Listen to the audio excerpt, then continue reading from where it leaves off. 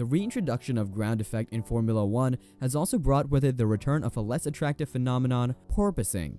The phenomenon where the car goes up and down on the straights because of the suction effect is constantly interrupted.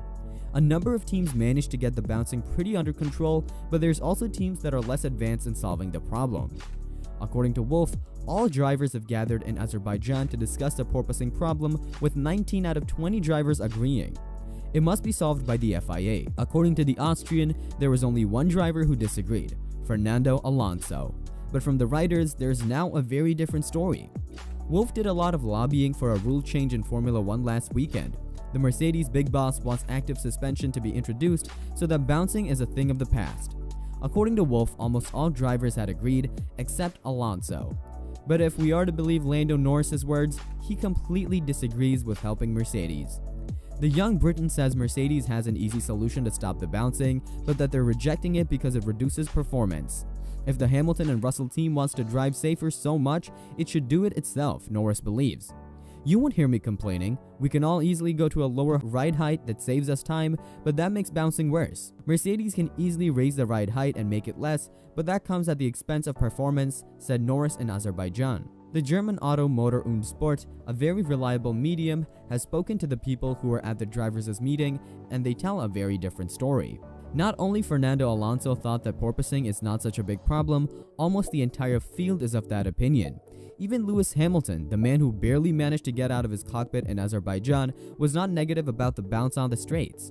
The seven-time world champion already announced earlier in the year that the porpoising is because Mercedes has its car so low. The only drivers who were critical were George Russell and Carlos Sainz. Christian Horner doesn't believe Lewis Hamilton really has that much back pain.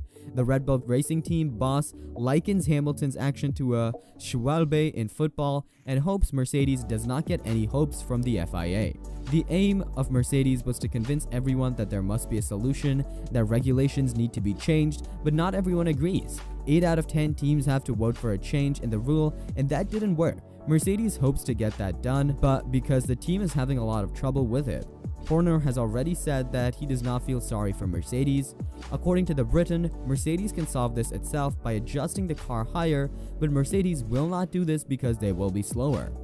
The German racing team therefore takes care of the problem itself and makes a big show around it, and so does Hamilton. The Formula 1 analyst and commentator of the British Sky Sports Martin Brundle also believes that Mercedes must find a solution from the problem itself.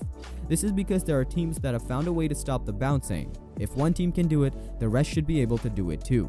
Especially a large and experienced team like Mercedes. The team has to get it done because it's Mercedes' problem, not Formula 1. It looks very uncomfortable, no doubt about it, but Mercedes can solve the problem. According to Brundle, it would be unfair for teams like Red Bull Racing if the FIA now introduces active suspension, something Mercedes would very much like to see happen. But it seems the FIA will go on and investigate the porpoising issue. Toto Wolff did a good job to get this fixed with the FIA, even with a lie, but this is all part of the game. Don't forget to subscribe and hit that notification button to not miss any F1 news.